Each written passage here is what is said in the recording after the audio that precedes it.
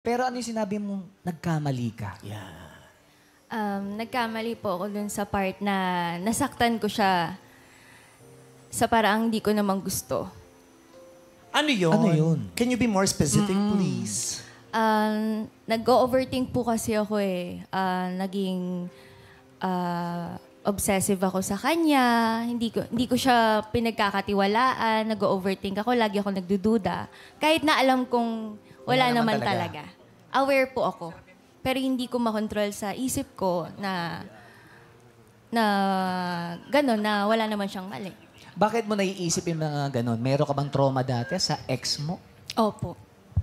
Marami po. Ano ba yung ex mo? Babaero?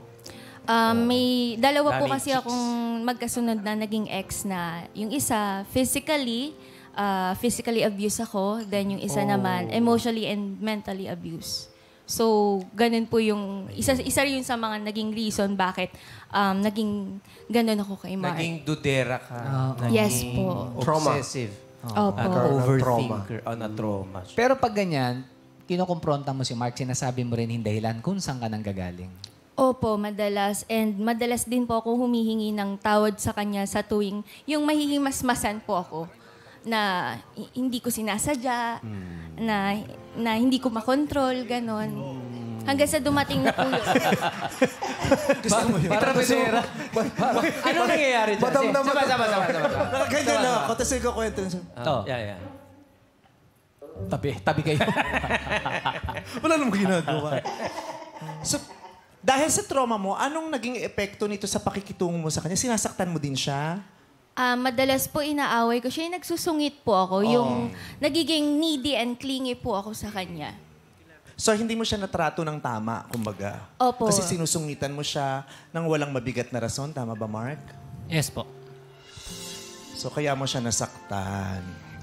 Hindi naging maganda ang ang pagtrato mo sa kanya sa kabila ng pagmamahal na ipinapakita ni Mark. Opo, sobra po kasi akong um, natakot eh na yung pag wala siyang time. Yung nanibago po kasi ako nung medyo naging busy siya. Ah, yung dating 6 hours, 8 hours na magdamag namin pag-uusap, yung unti-unting nababawasan. Nakasanayan ko po kasi medyo na baby po ako sa part na yon. Paano? Sorry, sorry. Hindi ko Medyo na- na baby na po ako sa part siya. na lagi siyang nandyan. And then, Hanggang sa hinahanap-hanap ko na po siya, hindi po ako sanay ng busy siya. So, dumating yung time na naging busy siya, hirap po akong unawain siya. Kahit na wala naman po siyang ginagawa, kahit na para naman sa future niya yon, para sa work niya yon. Madalas naman po siyang nag-explain sa akin, nag-update pa rin naman po siya. Pero yun nga po yung naging problema ko, um, hindi ko po siya mas inunawa pa parang mas naging selfish po ako doon. Hindi ko man lang inisip yung yung sa future nga niya na nag-work lang naman siya. ano, it was so brave of you, no? Kasi pag, bin- pag kinukwento niya, ang lapit na nung camera, no? Parang ang lapit ni Ose. Ni Ose. Nakaharang- nakaharang pala ako Pag kinukwento niya, kinukwento niya yung mga bagay na hindi ikagaganda ng imahe niya. Pero walang excuse.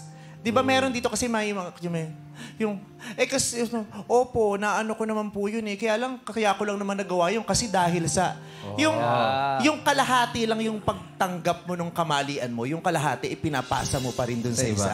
Pero siya, buong buo, accountable ka dun sa mga ginawa mo. Buong buo, kinukuha mo yung responsibilidad sa mga bagay na, na hindi mo na- sa mga bagay na hindi maganda na nagawa mo sa kanya. Hindi mo isinisisi sa kanya. Opo, kasi ayoko rin po na gawing laging reason yung trauma ko, yung hindi mga nag- magandang nangyari sa akin from the past para lang maging excuse ko kaya ako ganun sa kanya.